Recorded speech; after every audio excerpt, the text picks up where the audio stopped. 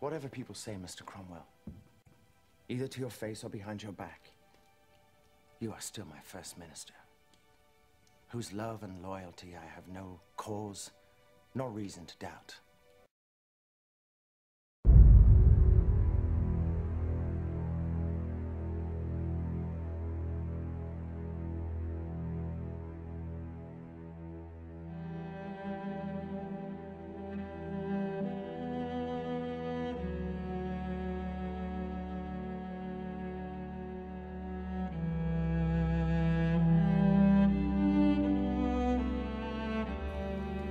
Ambassador also suggested to me how much Anglo-French relations would improve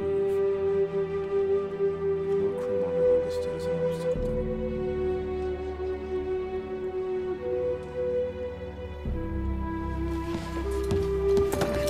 My lord, if it were not to satisfy the world in my realm, I would not do what I must do this day for no earthly thing.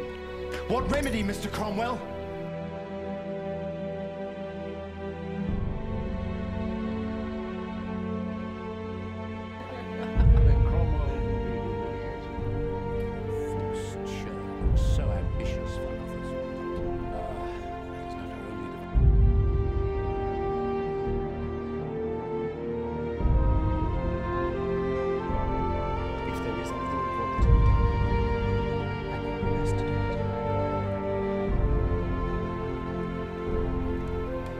Many things hang upon this marriage, do they not? The king's happiness